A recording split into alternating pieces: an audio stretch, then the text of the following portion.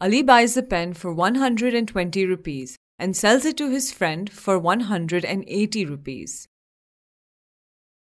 Did he earn a profit? If so, what would his percentage profit be?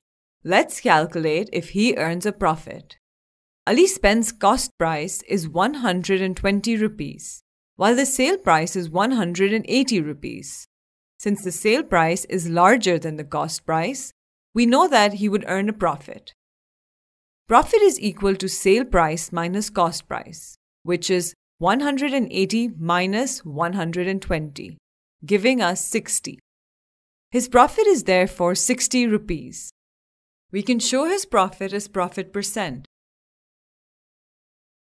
Let's see how. To calculate the profit percent, which can also be denoted as the profit is divided by the cost price and then multiplied by 100%. To calculate the profit percent for Ali's pen, we first write the profit, which is 60 rupees. Then we divide this by the cost price, which is 120 rupees, and multiply this with 100%. The profit is calculated after subtracting 180 by 120, which is 60 rupees.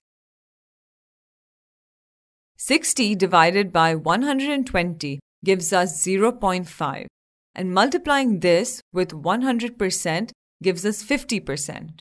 This shows us that the pen was sold at a profit of 50%. If Ali sells the same pen for 90 rupees to his friend, would there be a loss or profit? What is the profit or loss percent? Now, the cost price is larger than the sale price, so we know Ali would suffer a loss. Loss is equal to cost price minus sale price, which is 120 minus 90, giving us a loss of 30 rupees. How do we calculate the loss percent? It's very similar to the profit percent. Loss percent is equal to the loss divided by the cost price times 100%. 30 over 120 multiplying it with 100% forms the expression for loss percent. 30 over 120 gives 0.25, and after multiplication, we get a loss of 25%. Let's compare profit percent and loss percent. Can you see a similarity between profit percent and loss percent? Both percentages are calculated based on the cost price and not the sale price. This allows the seller, in this case Ali, to compare his profit or loss to the amount of money he has paid. If Ali sold the pen at the same price as the cost price, what would be the profit or loss percent? Since we know that the selling price and the cost price are the same, then by subtracting the cost price from the sale price, we get zero. This shows that there is neither a profit nor a loss.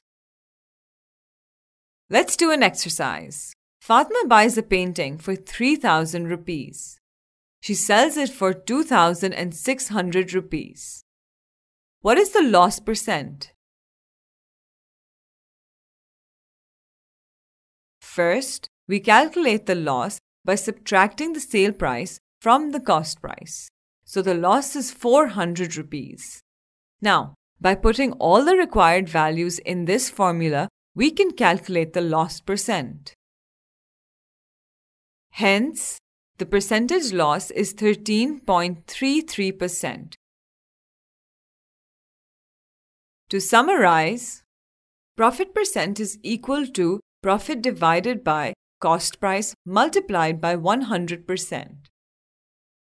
Loss percent is equal to loss divided by cost price into 100%.